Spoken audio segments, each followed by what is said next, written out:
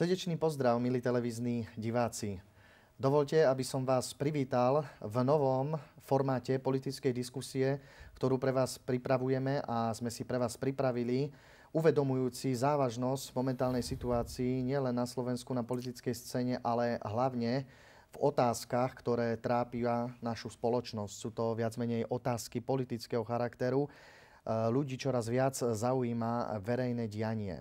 Práve preto sme pripravili v pravidelných intervaloch od dnešného dňa nový druh relácie politickej diskusie Politika sa nás týka.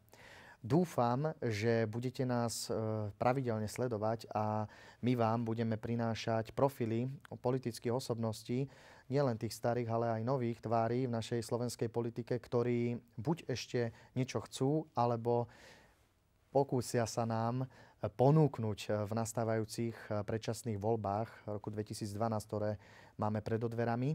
No a my sme sa viac menej ako prvá z televízií eh, rozhodli prinášať vám eh, túto diskusiu. Táto diskusia, myslím si, že bude veľmi interaktívna aj s vami, milí televízni diváci, pretože eh, sme toho názoru, že máte veľa otázok, máte veľa Eh, názorov, ktoré chcete vysloviť a hovorí sa, že veci verejné by mali zaujímať hlavne vás.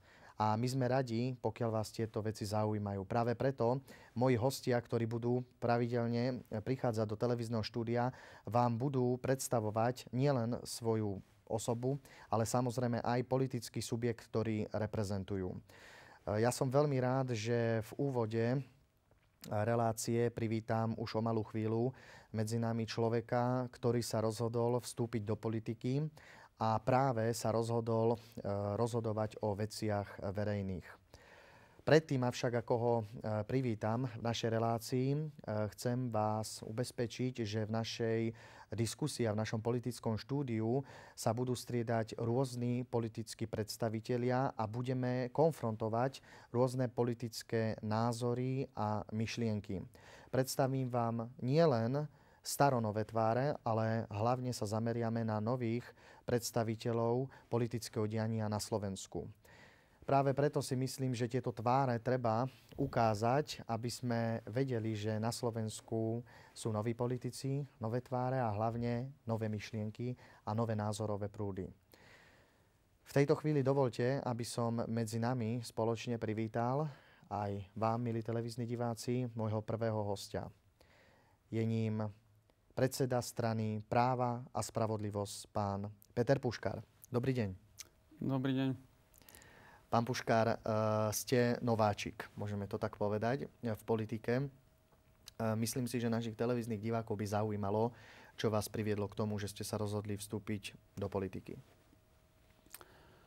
Tak k tomuto rozhodnutiu mňa a ďalších našich spolustraníkov priviedla situácia na Slovensku, ktorá je naozaj neúnosná, čo sa týka správania sa politikov k ľuďom, k národu ako takému. Arogancia moci, ktorá na Slovensku stále rastie, je tak veľká, že naozaj to vidíme ako poslednú možnosť. Založili sme politickú stranu Právo a spravodlivosť, čo dostatočne vyjadruje aj odhodlanie a vyjadruje to to, o čo nám ide. Ide nám o to, aby konečne na Slovensku bola spravodlivosť a dodržiaval sa zákon. Aby tie zákony boli také, aby neboli robené len pre určitú skupinu ľudí, ktorí tieto zákony zneužívajú. Skôr povedzme pre politikov. Nie Asi sú to, to nie sú to len nie? politici. Totiž to častokrát práve za týmito politikmi sú určití ľudia, ktorí nechcú byť verejne známi a týchto politikov si v prípade potreby môžu aj vymeniť. Je to pre úzkú skupinu ľudí, ktorá naozaj uh, nehorázným spôsobom uh, riadi a uh, zotročuje uh, obyvateľstvo. A toto sme začali pociťovať uh, tak, že sme sa rozhodli teda založiť politickú stranu s názvom Právo a spravodlivosť. Rozhodli sme sa ju založiť v januári minulého roku, kedy sme zasadli ako prípravný výbor. Neskôr sme začali zbierať podpisy, urobili sme stanovy, urobili sme si prieskumy a zistili sme, že stále viac ľudí pociťuje toto isté. Stále viac, čo som sa stretával s ľuďmi, pociťuje, že naozaj tu niečo nie je v poriadku na tejto politickej scéne. Môžete charakterizovať čo teda konkrétne? Samozrejme. Ľudia pocitujú, pociťujú obrovskú nespravodlivosť. Či už je to v justícii, ktorá by priamo teda spravodlivosť mala riešiť, alebo je to v rôznych iných oblastiach života, aj v tej sociálnej sfére, pretože dneska ľudia vidia, že sú niektorí vyvolení, ktorí e, bez práce nadobúdajú majetok nekalými spôsobmi a sú proste ľudia, ktorí poctivou a tvrdou prácou uh, dosahujú akurát to, že majú na bežný život. Ľudia vidia, že v zahraničí sa žije o mnoho lepšie a že ten rozdiel nie je v bežných ľuďoch, v, to, v tých zamestnancoch, v pracovníkoch, v podnikateľoch, v učiteľoch a v lekároch, pretože títo všetci, ktorí majú tú príležitosť a možnosť, tak idú do zahraničia a skutočne zarábajú viac, a, čiže odovzdávajú taký istý výkon. Takže e, je problém niekde inde a zrejme v systéme, respektíve v ľuďoch, ktorí ten systém riadia alebo ktorí ho vytvárajú. Sú okolnosti, ktoré nás doviedli k tomu, že nechceme byť už ticho, nechceme byť tí, ktorí budú apatickí a budú vyjadrovať svoju nespokojnosť neúčasťou vo voľbách. Pretože je určitá skupina ľudí, ktorej vyhovuje taký stav a títo ľudia vždy nájdu niekoho alebo si kúpia, ktorých pôjde voliť. A potom tu vznikajú rôzne politické síly, ktoré získavajú moc a rozhodujú o celom štáte. My sme preto ani nezačali robiť rôzne iniciatívy a občianske združenia a nezačali sme sa skrývať za uh, rôzne petície.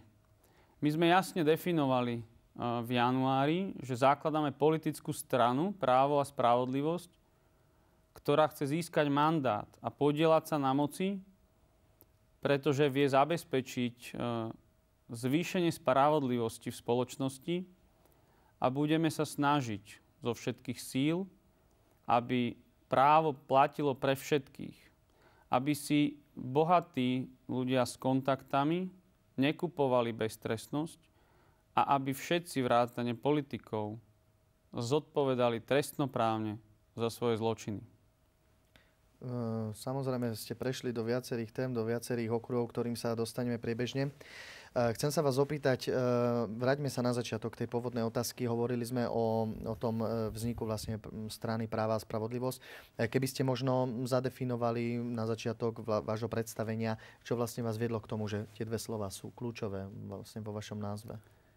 Ja som skončil tento rok právo na veľmi kvalitnej škole, ktorú si naozaj vážim a som veľmi rád, že som teda absolventom.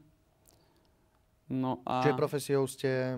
Ja som skončil právo ano. tento rok a v 2002 roku som skončil psychológiu. Čiže ste psychológ? Aj psychológ, aj právnik, áno. Uh-huh. Takže uh, asi v 2010 roku, čiže pred rokom a pol, keď som ešte bol teda na vysokej škole a uvažoval som nad tým, ako by sa mohla volať politická strana, ktorej by som chcel participovať, tak mi jednoznačne vychádzalo niečo s právom, lebo veď e, o tom to je štát, sa má riadiť zákonmi a, a systém práva tvorí štát. Takže mi to jednoznačne vychádzalo právo a v podstate ja vo svojom živote takisto pociťujem e, dosť nespravodlivosti a preto sa snažím za spravodlivosť teda Skúste, bojovať. ako môžete špecifikovať alebo konkretizovať, čo máte na mysli. Ja som sa stretol v živote s viacerými uh, trestnými konaniami, ktoré boli vykonštruované, kde aj ja osobne som bol teda uh, kriminalizovaný bezdôvodne, uh, len za to, aby niektoré orgány uh, možno dostali odmenu, alebo za to, aby ma niekto určitým spôsobom zdiskreditoval. Čiže bolo to účelovo vykonštruované? Samozrejme. Viete, kým, čím? V podstate áno, ale nerad by som to zatiaľ hovoril tu. Nehal by som to na riešenie. Konanie je uzavreté, keď takto pred e, divákmi hovoríte? Myslím si, že by to zaujímalo. Niektoré veci, teda väčšina vecí a tie najzávažnejšie veci sú uzavreté a to tým spôsobom, že nedokázali uh, orgány vykonštruovať tak dôkazy, aby to bolo možné predsta- eh, predložiť, teda postaviť pred súd. To znamená, že naozaj išlo len o diskreditáciu. Keby nešlo o diskreditáciu, tak je to minimálne na súde. To znamená, že sú presne takto vykonštruované veci. Čiže máte, máte pocit, máte, máte uh, pocit v tom, že niekto, niekto vám ako keby chcel ublížiť. Nehovoril by som A sa to, mu to viac menej aj podarilo nehovoril asi. by som o tom, že Časti. niekto ubližiť. Je to skôr taký konkurenčný boj, je to skôr... Bolo to závislé od toho, že ste vstúpil do politiky, alebo to ešte predtým? To bolo ešte predtým. V podstate, keby tu bol právny štát, ja by som nemusel vstupovať do politiky. Nemusel by som sa snažiť o to, aby som eh, politiku očistil od korupcie a od eh, mafiánskych praktík, ktoré naozaj hovorím, že na Slovensku e, tie mafiánske praktiky sú najmarkantnejšie práve v tých, tej politike a Mafiánske praktiky, myslím si, že je to, že je to dosť uh, silné slovo. Uh, máte niečo konkrétne na mysli? Pozrite sa, dneska je naozaj dosť kaos, kde sú vyvodené e, dôsledky zatiaľ len tzv. politické. A my si myslíme, že politici by mali v prvom rade mať trestnoprávnu zodpovednosť. A nie, že sa Aký je váš názor na imunitu? imunitu, akú myslíte? Mm, Poslaneckú, keď hovoríme o poslanecku. Poslanci majú mať imunitu len v parlamente a len čo sa týka rozhodovania o zákonoch. Nijakú inú imunitu nemajú mať. Dokonca by mali mať dvojnásobné tresty, keď spáchajú nejaký zločin, prečin alebo priestupok. Pretože poslanci majú byť v prvom rade morálne bezúhonní. Áno, hovorí sa, že by mali byť istým vzorom spoločnosti, keď už sme ich tam Presne dosadili. tak. A preto žiadna imunita, jediná imunita, aj vždycky počas histórie vo svete to tak bolo, že čo sa týkalo jej rozhodovania, takisto ako sudcovia majú mať preto imunitu, aby to nemohlo byť retroaktívne postihované. Ale nemajú čo mať poslanci imunitu, to je neuveriteľný prežitok. Pretože staviame sa do opozície, že sú to naši reprezentanti, dostávajú od nás mandát. Istú dôveru, samozrejme. To znamená, že nemajú čo mať akúkoľvek inú imunitu. Jediná imunita je hlasovania, vyjadrovania v parlamente, názorov v parlamente, konania v parlamente. Alebo súvisiacich, teda samozrejme, nemyslíme tým budovu, ale myslíme tým celý legislatívny proces. To je jediná imunita, čo môžu mať. Ostatné majú mať dvojnásobné tresty. Viac menej také niektoré otvorené e, kauzy boli, myslím si, že e, našej slovenskej verejnosti veľmi, veľmi známe aféry s alkoholom za volantom na niektorých poslancov. Ako by ste to vyriešili? Človek, keď nedokáže zvládnuť situáciu a šoferuje pod vplyvom alkoholu alebo iných a, omamných alebo pozornosť znižujúcich látok, tak zvyčajne, keď nie je poslancom a stane sa mu to, tak okrem pokuty častokrát môže skončiť na psychiatrii. To znamená, nerozumiem prečo títo poslanci e, tam neskončili. Možno by to bola výhra aj pre národ. Ale e, samozrejme to je absolútne nezlučiteľné s mandátom poslanca. Mhm. Absolútne. Čiže ak by ste sa dostali do parlamentu, tak by ste iniciovali zrušenie imunity poslaneckej, alebo by ste obmedzili teda, ako hovoríte? Imunita má platiť len na parlament a konania súvisiace s legislatívnou tvorbou. Nič iné nemá byť. To znamená, tam nejde vôbec o to iniciovať. Je to jeden z prvých zákonov, ktoré určite uh, budeme žiadať, ak budeme môcť. Čiže môžeme vlastne konštatovať, že sa uchádzate o priazeň, priazeň voličov. Máte v podstate program, predpokladám, pripravený, zostavený v rámci vašej, vašej politickej strany. Skúste nám v krátkosti približiť hlavné programové tézy alebo teda okruhy, ktorým sa chcete primárne venovať. Primárne sa chceme venovať zlepšeniu života na Slovensku občanom Slovenska, ako aj tým, čo sú nie občania. Ale e, zaujíma nás najmä to, aby tu bol právny štát, aby naozaj platilo právo, aby tu nebola korupcia, respektíve ak sa zistí, bola potrestaná. Chceme samozrejme v oblasti daní urobiť reformu, pretože máme tu niekoľko desiatok pomaly daní, odvodov, poplatkov. Toto chceme zjednodušiť Výrazným spôsobom chceme uh, zmeniť uh, dan z pridanej hodnoty na potraviny a tovary základnej spotreby, tak ako to umožňuje Európska únia, tak ako to umožňuje v podstate aj náš zákon, pretože je nemysliteľné, aby všetky krajiny Európskej únie mali nižšiu DPH na potraviny ako my. Veď to je úplne na hlavu postavené. Máme na to rozpracovaný plán, vieme, ako zaplatať vzniknutú dieru v rozpočte.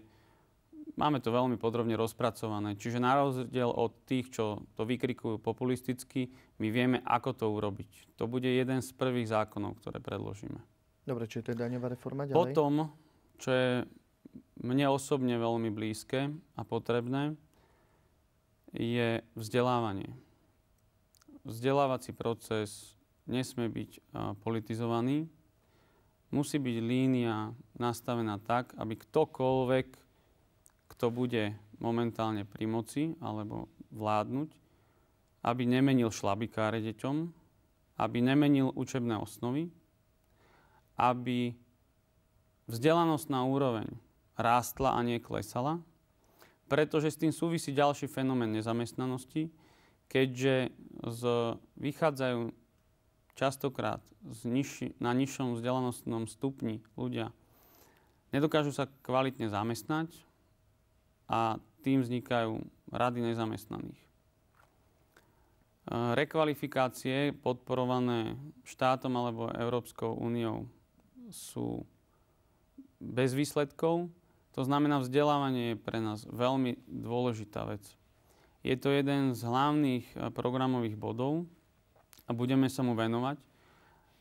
Aj keď nie je taký zaujímavý, pretože výsledky sú rádovo v desiatkách rokov. Keby dnes sa zmenil všet, celý systém vzdelávania dnes, tak výsledok je o 15 rokov.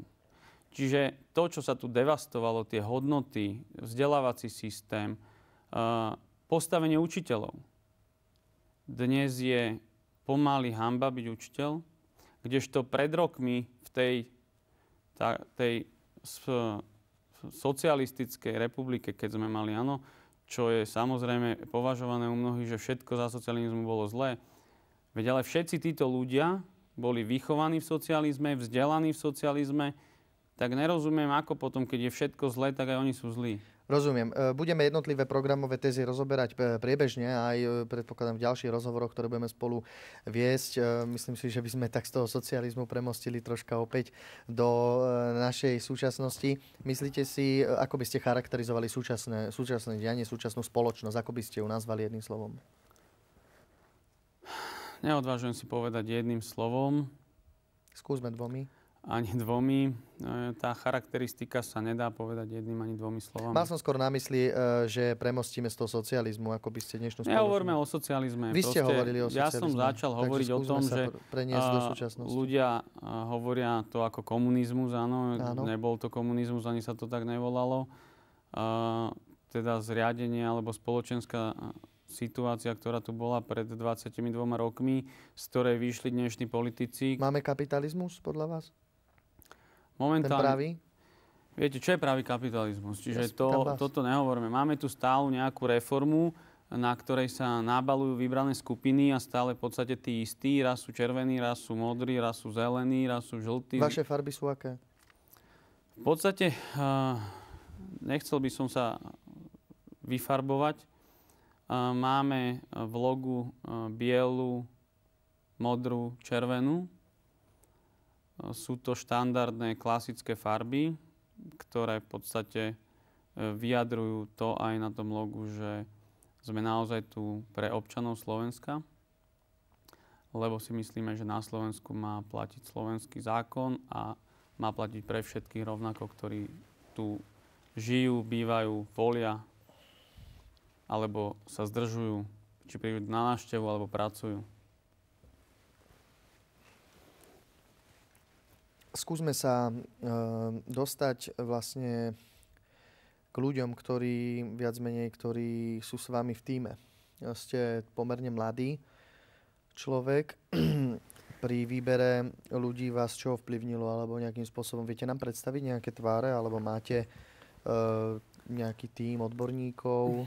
Pri výbere spolupracovníkov dávam veľký dôraz na charakterovo osobnostné a morálne vlastnosti ľudí. Pretože odborníkov sme tu už mali, aj robotníkov sme tu mali.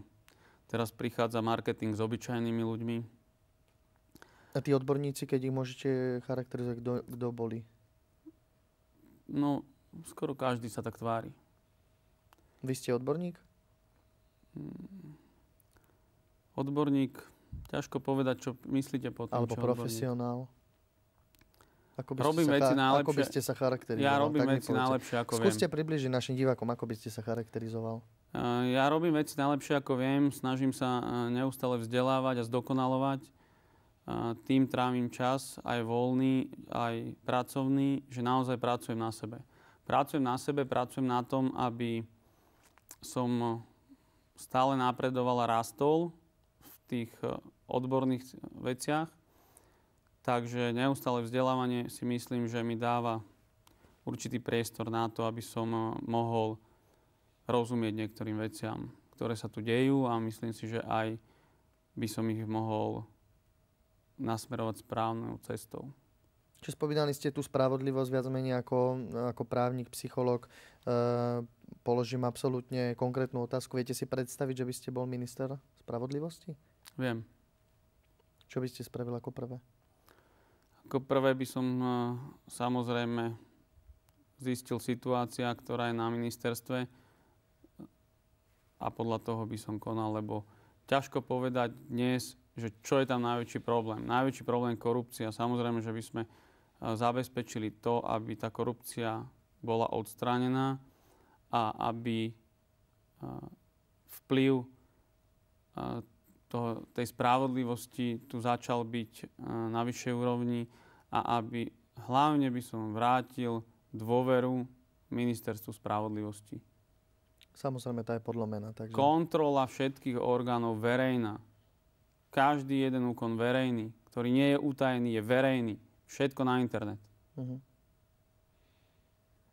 Poriadku, pán Puškar, vráťme sa k tým ľuďom. E, sme nedokončili myšlienku. Čiže vaši ľudia, e, skúste ich predstaviť teda sú, sú vzdelaní, sú, sú to odborníci vo svojom obore, sú to prevažne mladí ľudia, aká, aká generácia ľudí? My máme na kandidátke 150 osobností. Z rôznych oblastí sociálneho, spoločenského života, z rôznych odborov. Máme lekárov, máme právnikov, inžinierov, ekonómov. Takže... Skúste predstaviť najúžší tým strany našim divákom? Ja vám poviem tak, že mená momentálne vám zrejme nepovedia nič. Máme tam samozrejme aj ľudí z mediálnej máte, pod, máte podpredsedu alebo máte Áno, máme, po, máme prvú podpredsedničku. Čo sa týka štruktúr, sme politická strana a ju tak uh, formujeme, aby mala celoslovenskú pôsobnosť. Preto máme už väčšinu krajov obsadenú krajskými predsedami, máme veľa okresov obsadzovaných funkcionármi, hlásia sa nám noví členovia. Takže... E, skúste povedať e, televíznym divákom, e, kde vás môžu o vás bližšie informácie získať. Máte predpokladám internetovú Áno, na internete www.právoaspravodlivosť.sk na telefónnom čísle 0918 902 902 si môžete zavolať, keď niečo potrebujete. To je vaše osobné telefónne číslo? Toto je uh, momentálne predpokladám, že keď ste ho teraz povedali, číslo. tak uh, asi by vás to nepotešilo, keby sa vám teraz rozozvučali telefóny. Nie je to problém, keď bude veľký záujem. Máme samozrejme zriadené uh, call centrum, to znamená, vieme zaznamenať všetky hovory. Uh-huh. Dobre, takže tých ľudí ste povedali, predstavili, takže máte podpredsedničku? Áno, máme podpredsedničku Táňu Lorencovú ktorá skutočne... Bude aj hostkou našich ďalších rozhovorov? Určite môže byť, takisto ako môže byť podpredseda Zdeno Sabol, alebo Ivan Drgoň, Vlado Homola. Z tej odbornej verejnosti, koho by ste nám spomenuli? Nehovorme o odbornej verejnosti, skôr by som vám chcel povedať o tom, že máme ľudí, ktorí pracovali aj na špecializovaných útvaroch policie, napríklad v rôznych vyšetrovacích tímoch, to je taký paradox, že za mnou príde človek, ktorý mi povie, že Peťo, ja viem, ako to bolo uh, s tebou, že všetko to bolo vykonštruované, ale čo, dostali sme príkaz, museli sme konať. Takže toto sa mi stáva v živote a to ma tak Takých ľudí ale... máte vo svojom týme? Áno. Odborníkov, skutočne, ktorí... Čiže boli priamo súčasťou vašej kauzy? Áno, čo som sa dozvedel nedávno tento rok. Pretože prišli za mnou oni osobne a povedali mi, ja som viedol ten tým a viem, že to bolo vymyslené proti tebe. A to ma tak posilnilo, že som naozaj si povedal, že ja týchto ľudí nemôžem sklamať. To viem, že budú uh, si kupovať uh, pro, uh, konkurencia alebo protivníci médiá, ale pevne verím, že nájde sa dostatok rozumných ľudí, ktorí dokážu čítať medzi riadkami a dokážu si dať súvislosti dokopy. Myslím si, že jedno prvenstvo vám už prináležilo. Ste prvý host našej relácie, takže myslím si, že s tým už budete s takým lepším pocitom odchádzať možno aj po skončení rozhovoru, že, je, že ste predsa prvý. A myslíte si, že skutočne e, z vašej strany, nielen ako osoby, ale ako strany, máte čo ponúknuť voličom? Myslím si, že sme e, dostatočne odhodlaní, kompetentní a pripravení na to, aby sme mohli voličom priniesť zmenu. Zmenu, ktorá sa ich týka, zmenu, ktorá im môže priniesť lepší život, zmena, ktorá je tu potrebná. Pretože keď sa to nezmení teraz, tak e, čím ďalej, tým to bude ťažšie. My sme založili stranu a počítame s tým, že ju budeme dlhodobo rozvíjať, a že najväčší rozmach bude rádovo 5 až 10 rokov. Pretože... Čiže skočím vám do toho, e, čiže uvažujete aj tak, že ak by náhodou e, ste nezískali mandát a že proste by sa vám nepodarilo dostať do parlamentu, idete ďalej, áno? Pracujete na strane, nebo je to my sme nejaký rýchlo kvás, ktorý proste... My sme stranu založili aj budujeme na to, aby zlepšila občanom e, život a predčasné parlamentné voľby sú okolnosť, ktorá sa nás dotkla. Sme na ňu pripravení, urobíme všetko preto, ale nie len účasťou v parlamente sa dá zlepšiť ľuďom život. Takže my už to robíme v rámci našej činnosti. Je nás zhruba okolo 500 ako členov a napríklad sme darovali krv podporujeme zákon na ochranu zvierat a tak ďalej. To robíme, čo sme dva mesiace založení, áno. Popri tom, že sa pripravujeme na voľby predčasné, popri tom, že budujeme štruktúry, popri tom, že zostavujeme kandidátku, takže, a popri tom stíhame ešte ako tak žiť. Dobre, opýtam sa vás, na koľko percent si trúfate s odhodlaním podľa vás? Ja som není veštec. Skúste. Nie som veštec ani jasnovidec. Ja, ne, ja netypujem.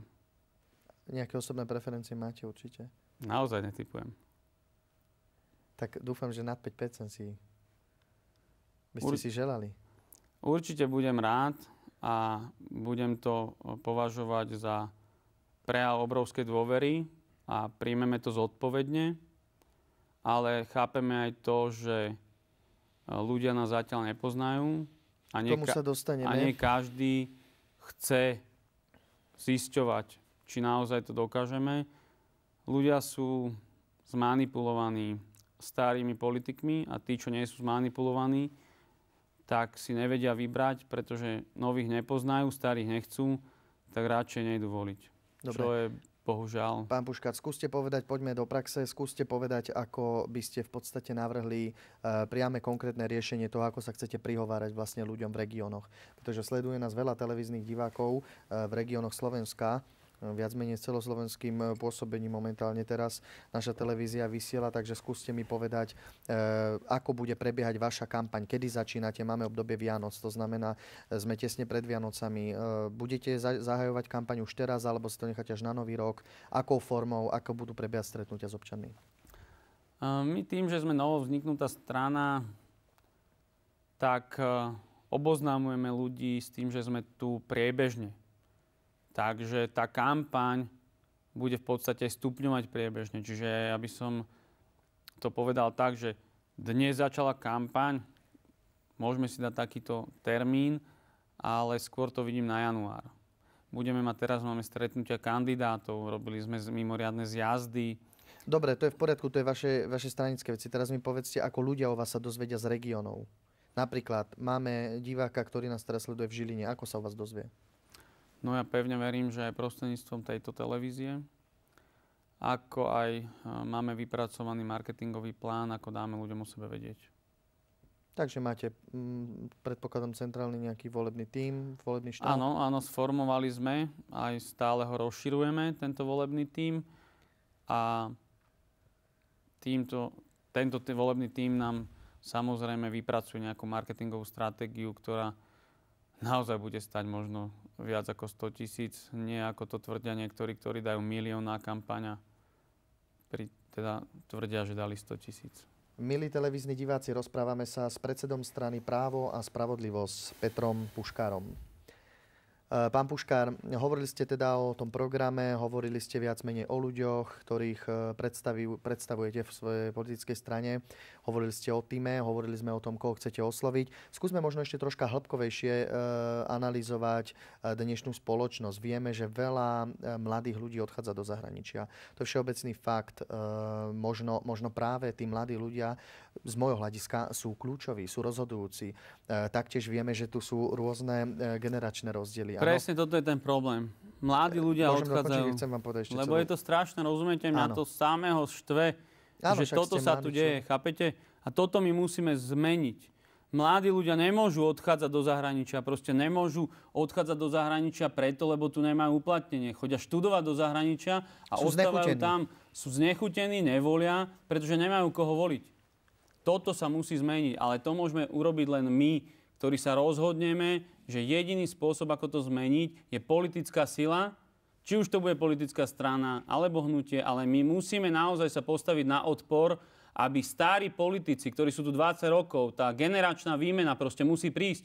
To nemôže tu byť tak, že 20 rokov, pred 20 rokmi tu prišla nejaká zmena, pred 40 rokmi zmena. To sú všetko generačné výmeny. Tí starí politici, oni vedia, že už tu nemajú čo robiť. Myslíte si... A preto robia všetko preto. Preto urobili predčasné voľby. Iba si predlžili si mandát. Nič iné neurobili. Rozumiete? Ja Mladí rozumiem. ľudia uh, nemajú koho voliť, lebo tu im nikto nezodpoveda im potrebám starší ľudia nevedia, koho majú voliť, stredná generácia mizne, lebo od rána do večera robí, je apatická, lebo vidí, že aj tak sa nič nezmení. Toto chceme zmeniť a týmto ľuďom chceme dať šancu, aby prostredníctvom politickej strany právo a spravodlivosť mohli niečo zmeniť. Každý môže byť členom, môže sa podielať na tom, že to zmeníme. My to tu vyčistíme. A toho sa všetci boja a preto nám budú hádzať polena pod nohy a preto budú robiť všetko preto a budú rôzne kauzy vymýšľať, aby sme toto nedosiahli, lebo sa nás boja. Ste na to pripravení? Lebo my sme jediní tí, Ste na to ktorí pripravení? naozaj to dokážu zmeniť. Ste na to pripravení? My sme všetci odhodlaní to zmeniť a naozaj urobiť všetko preto.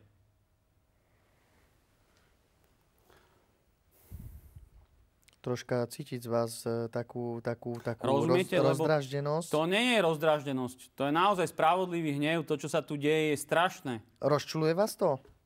Mňa to, mňa to zabíja. Čo vás zabíja? Veď to, čo sa tu deje.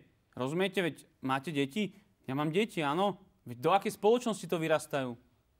Tu budú samé montážne haly, áno, vzdelanie úplne na nízkej úrovni a tí, čo na to majú, tak budú v zahraničí. A kto bude tvoriť ten národ?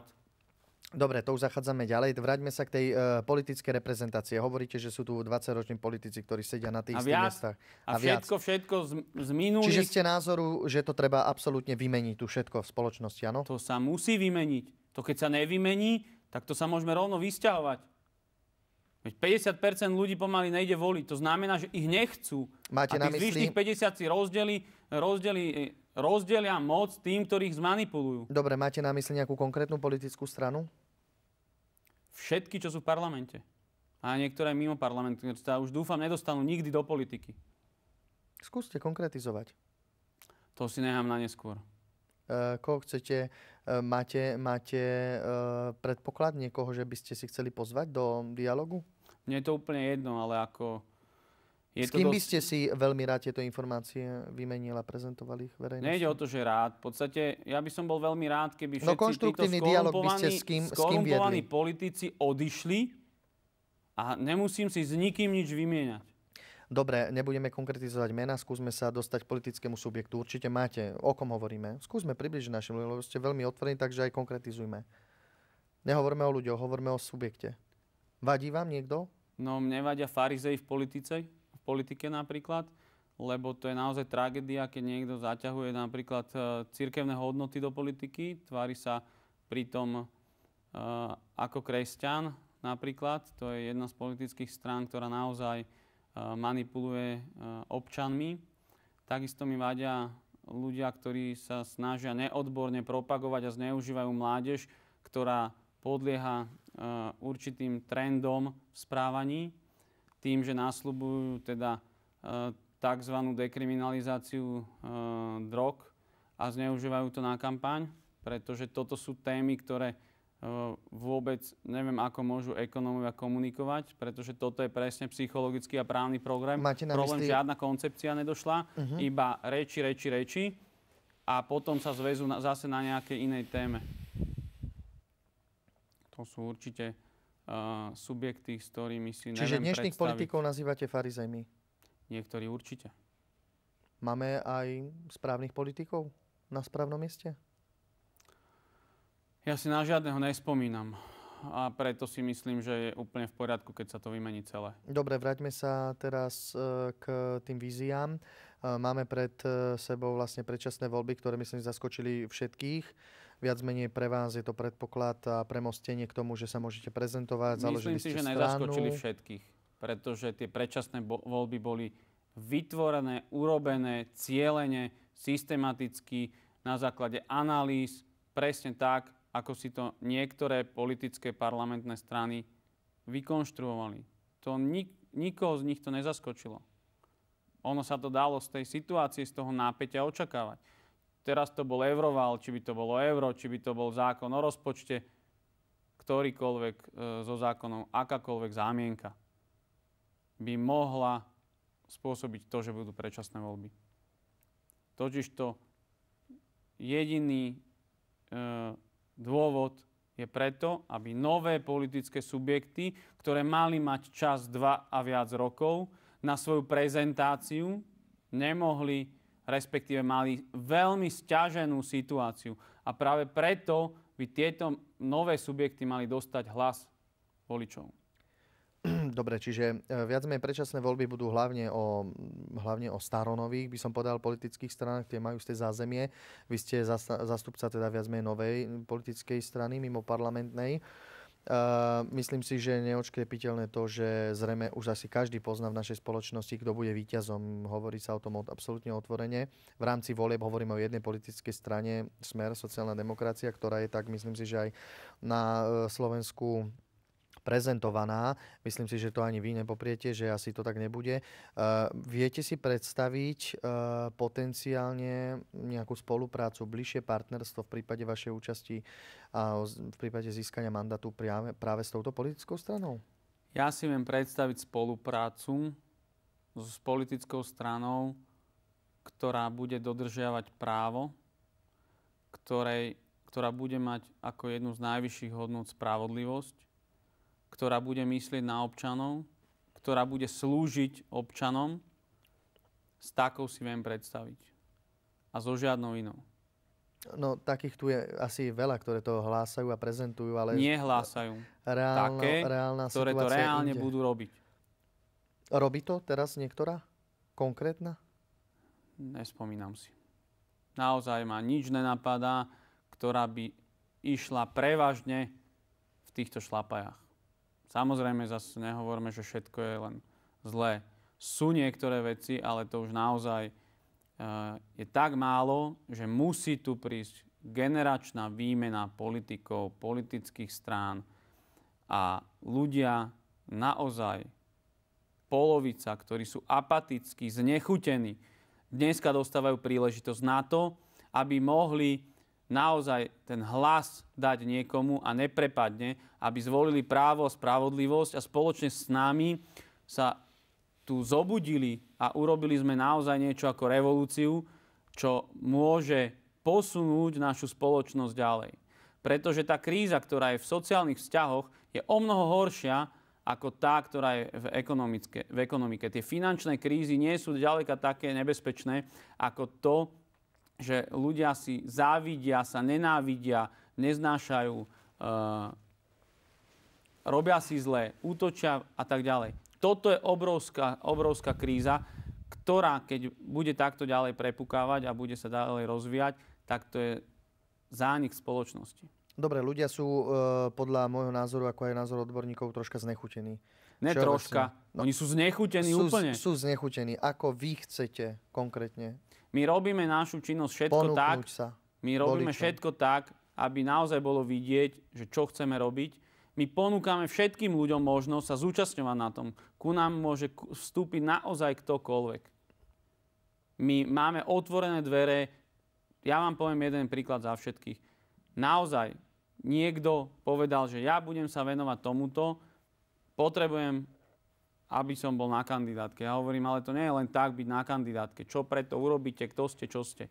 A zaujímalo ma to ako odborník. To znamená, nebolo to, že cez kontakty, nebolo to, že teraz uh, musíš byť tam a tam. Dokonca máme na, stra- uh, na, na kandidátke aj nestraníkov. To znamená už prvá dôvera zo strany uh, osobnosti Slovenska, neziskovej organizácie, takisto zo strany Európskej demokratickej strany, ktorá uh, poskytla svojich kvalitných ľudí, aby sme ich mali na našej kandidátke, pretože sami uh, nechceli ísť do volieb vzhľadom k tomu, že naozaj sú predčasné voľby, ktoré neočakávali. To znamená, my sme naozaj poskytli priestor kvalitným ľuďom, ktorých stojí za to uh, voliť. Dobre, ako konkrétne mladých ľudí chcete osloviť? To je tá rozhodujúca časť, Mladých podľa ľudí mňa. chceme osloviť práve tým, že im dáme priestor, aby išli s nami a urobili zmenu tak, ako si predstavujú. Hovorili ste o revolúcii. Myslím si, že len také virtuálne. Predpokladám, že nechcete sa vrácať do roku 89. Ja nežijem na Facebooku. Ja nežijem vo virtuálnom svete. Ja žijem v realite. A tak mi povedzte, preto akú reálnu podobu bude mať vaša revolúcia. To, či bude mať, závis, závisí od toho, či sa ľudia naozaj zobudia a pochopia to, že jedine tým sa to môže zmeniť, keď všetci budú chcieť. Zmenu. zmenu a urobia preto aspoň to, že prídu a zvolia právo a spravodlivosť a tým spôsobom. A keď to neurobia, tak naozaj ďalšie 4 roky tu bude tragédia žiť. To si musíte aj vy uvedomiť. Tragédia. Veľká tragédia. Podľa vás, kto sa dostane do parlamentu po voľbách? Ešte raz, nie som jasnovidec, nie som veštec. Máte osobný, osobné nejaké názory, nejaký predpoklad? Skúste, hypotéza. Bohužiaľ dostanú sa zrejme aj niektoré z tých strán politických, ktoré tam boli teraz. Ale nechcem to konkretizovať, pretože to neviem ovplyvniť. Ja chcem robiť to, čo viem ovplyvniť. A urobím preto všetko, aby ľudia pochopili a zobudili sa a prestali byť apatickí. A keď už sú takí apatickí, tak nech to aspoň vyskúšajú. Čiže vaše, vaša základná filozofia, stratégia je oslovať ľudí, poďte, zúčastnite sa, nezostaňte doma. Filozofia je, poďme spolu vládnuť. S občanmi. Áno. Zaujímavá teória. Toto nie je teória. Toto je jediná možnosť. Bude to aj prax? My toto chceme urobiť. Rozumiete? Toto proste chceme urobiť, aby ľudia pochopili, že ten jeden deň vo, počas volieb majú naozaj možnosť niečo urobiť pre seba, niečo urobiť pre svoje deti aj svojich rodičov. Tú zodpovednosť politickú máme my občania. Tak nemrhajme s ňou tak, ako to urobili a robia politici a budú to robiť. Pretože my už vieme, že všetci títo politici, či sú to červení, modrí, zelení, žltí, oranžoví, akýkoľvek, veď oni sa nezmenia. Prečo by sa mali meniť? Takí istí budú. Takí istí. A ešte sa budú smiať všetkým do tvare, že co, veď ste si nás zvolili, my za to nemôžeme. A toto zmeníme. Potrebujeme len mandát. Ľudia môžu ísť s nami ako členovia, môžu ísť s nami ako aktivisti, môžu nás podporiť, môžu nás sledovať našu, na, našu iniciatívu a zúčastňovať sa, môžu dávať návrhy, môžu prispievať do programu. Toto všetko sa deje.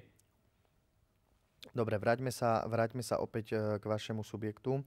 E, veľa politických strán e, poznáme zákulisia týchto politických strán, nielen po stránke financovania politických strán a hnutí, Uh, vieme aj, aké rozpočty vo volebnej kampane sa asi, asi hýbu v rámci predvolebnej kampane, či už billboardy, letáky, celková kampaň. Ako vy financujete stranu? Máte, máte nejaké súčinné financovanie, alebo kto financuje stranu? Kto je za stranou? Kto stojí okrem vás ešte za stranou? Pozrite sa, za našou stranou nikto nestojí, naša strana stojí na ľuďoch. Čiže o vás ako predsedovi a Nie, o týme? naša strana stojí na ľuďoch na všetkých členoch. Tí členovia a financujú každý stranu? člen robí to, čo môže. Zatiaľ v podstate väčšinu vecí máme formou darov či, alebo služieb, to znamená, niekto niečo urobí pre stranu takýmto spôsobom. Nejaké financie vkladáme na účet každý, kto má. Vkladáme to ako člensk, e, členský poplatok, lebo je dobrovoľné členské. Toto je financovanie. Koľko bude stať vaša kampaň? Toľko, koľko zoženieme peňazí. Musíte plánovať rozpočty. Musíme len zomrieť. Skúste odpovedať, takže koľko bude vaša kampaň stať? Za Neviem vám povedať, koľko idete bude do stať. kampane? Chceli by sme dať na kampaň uh, okolo 300 tisíc eur, pretože je naozaj potrebné uh, dať o sebe vedieť. Určite reklama je mimoriadne dôležitá. Bohužiaľ, no. Bil... Častokrát dôležitejšia ako ide aj myšlienky. Čiže budete mať asi aj nejakú billboardovú kampaň? Áno, už sme dostali za veľmi priateľných podmienok 200 eh, billboardov, teraz máme zase v ponuke okolo 400 billboardov. Ale nemyslíme si, že to je to, čo chceme robiť. My chceme presvedčiť ľudí, aby začali vnímať to, že môžu niečo zmeniť. Ja si nemyslím, že by billboard bol to médium, ktoré to odkomunikuje. Akú, akú podobu budú mať vaše stretávania sa s občanmi, s potenciálnymi voličmi? My budeme chodiť po Slovensku, robiť mítingy, budeme to dávať vedieť prostredníctvom internetu, prostredníctvom uh, našich štruktúr, keďže v každom okrese chceme vybudovať štruktúru, vo väčšine už máme. To znamená na tejto báze letáky, uh, plagáty. Mítingy z vašej strany kedy začínajú? Uh, chceli by sme začať niečo v januári a samozrejme február, marec. Uvidíme podľa toho, aký komunikačný prostriedok bude internet, či bude dostatočný a či prípadne nebude lepší komunikačný prostriedok, napríklad táto televízia, ktorá dáva priestor aj teda mimo parlamentným stranám na rozdiel od iných, ktorí si vedia ten mediálny priestor kúpiť, keďže majú dostatočné prostriedky, ktoré získali e, určitými spôsobmi. Od sponzorov. No, vidím, že sa usmievate. Mne to až také smiešne nie je, keďže sú to prostriedky, poznám, ktoré, poznám za kulisie, ktoré takže... majú patriť nám občanom. Áno. Máme také, e, troška to odľahčí, máme také príjemnejšie obdobie pred Vianocami. E, ako vy trávite, by som povedal, toto obdobie, kedy v podstate sa pripravujeme možno Prácou. na také najkľudnejšie obdobie? Prácou na strane od najmenších detailov až po ten management. rozmýšľaním o tom, s kým a ako spolupracovať, vytváraním určitých stratégií, prácou. Pracujete aj cez sviatky? Ja stále pracujem. Ste workoholik? Niektorí to o mne tvrdia. Čiže 24 hodín denne sa nezastavíte? Nie, niekedy aj spím. Dobre. Uh, médiami, troška prejdem teraz uh, do vaše súkromné médiami. Uh, už sa prebleskla sa informácia, možno televíznym divákom treba priblížiť, že ste brat redaktorky Zlatici Puškarovej, ktorá má taktiež jednu politickú diskusnú reláciu. Eh, ako možno vaša sestra Zlatica Puškarová vníma váš vstup do politiky práve preto, lebo je ona výraznou osobnosťou v slovenských médiách tým, že eh, spoveda politikov, spoveda a diskutuje s nimi. Budete aj vy jej hosťom? Pán reaktor, toto sa musíte opýtať jej. Chceli by ste byť jej hosťom? V relácii Viete, toto na telo? je veľmi sugestívna otázka a odpoviem vám na ňu. Kto z politikov by nechcel? Aký je váš vzťah s vašou sestrou, Laticou Puškárovou? Sme súrodenci. Samozrejme, myslím, e, rodiny, ako sa stretávate, ako udržiavate kontakty, ako vníma váš ona vstup do politiky? To, ako vníma ona môj vstup do politiky, musíte sa spýtať jej.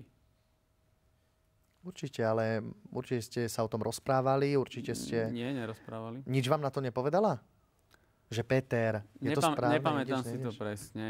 No, niečo spomínala a skôr, skôr mi... Takže sa na vás aj teší, možno vás prekvapí. Toto zase je na ňu V januári skôr, a možno vás Skôr je prekvapená, že naozaj uh, chcem tu niečo zmeniť, lebo tiež to vidí zrejme z tej pozície tak, ako väčšina ľudí. Milí televízni diváci, stále sa rozprávam s predsedom strany Právo a spravodlivosť Petrom Puškárom. V našej diskusnej relácii budeme v pravidelných intervaloch týždenne predstavovať hostí, zástupcov politických strán a hnutí, nie len parlamentných, ale aj mimoparlamentných, ako aj novovzniknutých politických strán. Práve zástupca v tejto chvíli vedľa mňa sedí, pán Peter Puškár, no a ja sa s ním ďalej rozprávam na aktuálne témy. Pán Puškár, čo si myslíte, e, súčasnosť čo najviac e, rezonuje v našej spoločnosti. Vieme, že aktuálna téma je stabilita eura. Myslím si, že bude to aj kľúčová téma uh, viac, menej, viac menej v predčasných voľbách. Budete mať vy nejakú účelovú konkrétnu tému na predčasné voľby, ktorú budete komunikovať s voličmi? Myslíte v súvislosti s eurom, alebo... Buď, buď alebo všeobecne. No samozrejme, že máme témy, veď niektoré sme už spomenuli. Áno. No a aby som sa vrátil teda, chceme to tu odbyrokratizovať, zbaviť korupcie, zaviesť mm, vymožiteľnosť práva, aby zákony platili rovnako pre všetkých, aby zodpovednosť politikov bola na takej úrovni, aby nemohli páchať zločiny, aby nemohol sa okrádať štát a nemusíme hovoriť, či sitka, či emisie, veď to je úplne jedno. Každá vláda má svoju najväčšiu kauzu a stovky ďalších menších a stovky ďalších, o ktorých sa ani nedozviete. Toto treba odstrániť. A keď to neodstránime, keď nepôjdu ľudia voliť, keď, nebudú, keď tu nebude platiť právo premocných, pre tých, ktorí rozhodujú a ktorí ho majú strážiť, tak naozaj to bude veľmi zlé a môže sa stať, že už nebude mať potom kto voliť. Bo tí, čo budú môcť, tak sa vysťahujú z tohto štátu a tí, čo nebudú môcť, tak nebudú vládať. Hovorili sme o mladých ľuďoch. Skúste teraz prejsť, e, z časti ste naznačili tú strednú generáciu, ktorá je teda produktívna, ktorá viac menej moc času e, nemá. Tá stredná ale... generácia sa strašne zužuje. Tá stredná vrstva, ktorá má v podstate byť hnacím motorom, tak je e, ako keby okliešťovaná, zužovaná a zmenšovaná. A to práve týmito ekonomickými nástrojmi, ktoré, e, za ktoré zodpoveda vláda vládu, si volí parlament, vlastne z politických strán, čiže v konečnom dôsledku momentálne parlamentné strany. Uh-huh. Tie sú tu 20 rokov, viac či menej tie isté. Niektoré sa im tam zmenia názov, niektoré sa preskupia, niektoré rozdelia. Stále to isté. Ako my sme fakt uh, krajina, ktorá je tak ubíjaná ekonomicky, že sa s nás stávajú ekonomicky otroci a ľudia nemajú ani sílu vôbec ísť a či už do tej ulic, alebo vyjadriť svoj názor, pretože nevládzu, alebo sa boja. Možno celkovo stratili záujem o verejné dianie. Ale to sa nedá stratiť záujem, lebo sa ich to týka. No, Rozumiete, ale tak, jak názor reál, relácie, politika je... sa nás týka, nás všetkých sa týka politika. Rozumiete? A to keď si neuvedomia, najmä mladí, ktorí môžu ešte len stratiť, tak to bude veľmi zle tu. A tak som povedal, to bude tragédia. Dobre, poďme k výraznej, výraznej spoločnosti, ktorú tvorí e, náš štát a to sú seniory, dôchodci. Máte pripravené niečo špeciálne pre, pre nich? Pre seniorov máme e, v podstate jednoduchý program. Minimálny dôchodok 400 eur. Ktorý chcete garantovať? Ten dôchodok je vypočítateľný, garantovateľný. Ten Schodok v štátnom rozpočte je vykompenzovateľný tým, že nebude toľko úradníkov zbytočne rozhodovať o tom, že sa im bude priplácať, pretože keď niekto má 100 eur dôchodok, musí dokazovať, že aj tak z toho nevyžije, zase sa mu pridá ten štátny úradník, ktorý robí, uh, tak dostáva zase zbytočný plat. Áno, je ich možno 9 tisíc tej sociálnej poisťovne, možno 3 tisíc sú tam zbytočne a tých dôchodcov je možno okolo milióna, čo sú ale všetko spotrebitelia. My to neberme tak, tých, tých milión ľudí tu niečo kupuje oni z toho dôchodku zase vrácajú vo forme DPH to do, do rozpočtu. Prečo majú mať menej ako 400 eur? Toto sa dá garantovať. Čiže nechcete ich sklamať, naopak chcete získať ich priazenia a dôveru. Toto není o priazni. Toto je o tom, že si zaslúžia dôstojnú starobu. Pretože tí dôchodcovia to tu všetko vybudovali. Lenže nemajú už silu a už ani nádej, pretože zažili naozaj to, čo momentálne zažívame my. A my, naša generácia, my mladí ľudia, musíme to zmeniť. Dlžíme im to. Pekný odkaz a verím, že sa vám to podarí. Uh, skúsme, skúsme, pán Puškar, závere relácie, uh, ak máte niečo, čo by ste chceli, pretože vždy dávame priestor a budeme dávať priestor našim hosťom, aby absolútne v jednej jedinej minúte povedali uh, našim divákom to, čo majú na srdci, to, čo chcú odkazať. Takže ja vám ten priestor dávam a v tejto chvíli môžete našim divákom na našu hlavnú kameru aj uh, odkazať to, čo máte vy na srdci a čo im chcete odkazať. Takže nech sa páči. Vážené diváčky, vážení diváci. Nečakal som tento priestor, išiel som do relácie prvýkrát v živote, snadne posledný. Nemám v podstate pripravené nič špeciálne, ale už dlhší čas žijem tým, že naozaj je potrebná zmena. Naozaj je potrebné niečo ako revolúcia, môžeme to nazvať, ktorá zmení naše životy, zmení ich k lepšiemu a môžeme ich zmeniť my. Môžeme ich zmeniť jednoduchým rozhodnutím a to tým, že 10. marca 2012 všetci pôjdeme voliť právo a spravodlivosť. Keď sa nás dájde dostatočný počet, tak dokážeme zabezpečiť to, čo máme v programe, to, čo hlásame, to, čo s vašou pomocou môžeme dosiahnuť. My sme strana, ktorá je kontrolovateľná, pretože sa môžete stať aj členmi. My si vážime všetkých členov, vážime si všetkých občanov, vážime si ľudí v tomto štáte a pevne verím, že nájdu sa rozumní ľudia, ktorých podporia obyčajní ľudia, pretože obyčajní ľudia majú dosť zdravého rozumu na to, aby si zvolili rozumných ľudí, ktorí dokážu viesť túto krajinu k právu a spravodlivosti. Ja by som takto na záver len poďakoval. Požiadal vás, keď máte záujem, kontaktujte nás. Ďakujem, pekný večer. Ďakujem, Ďakujem veľmi pekne. Ďakujem. Pán Puškár, za to, že ste prijali pozvanie. E, dúfam, že budete odchádzať zo štúdia s úsmevom na tvári, pretože patrí vám prvenstvo v našej, našej dnešnej relácii. E, ja si myslím, že svojimi názormi e, ste minimálne zaujali našich divákov a ja budem veľmi rád, pokiaľ príjmete pozvanie aj do ďalších diskusných relácií, kde sa budeme rozprávať už v takom väčšom, by som povedal, objeme s našimi ďalšími hostiami, ktorí prídu za spoločný okrúhly stôl. Ja vám chcem poďakovať. Do vašej e, politickej kariére vám zaželať e, skutočne veľa úspechov, veľa správnych rozhodnutí. No a dúfam, že ako sa hovorí právo a spravodlivosť bude v našej spoločnosti vládnuť. Ďakujem pekne, pán Chcem vám poďakovať. Ďakujem. Milí televízni diváci, to bol môj dnešný prvý host, predseda strany Právo a spravodlivosť Peter Puškár. Dúfam, že sme vás eh, našou diskusiou a našimi témami oslovili. Budem rád, pokiaľ zostanete verní naše relácie, pretože sa budeme stretať v pravidelných intervaloch aj budúci týždeň. Mám pre vás eh, špeciálne prekvapenie, ktoré príde, hostka, zatiaľ ju nebudem avizovať, ktorá príde a myslím si, že bude aj v našej relácii ešte poriadne horúco.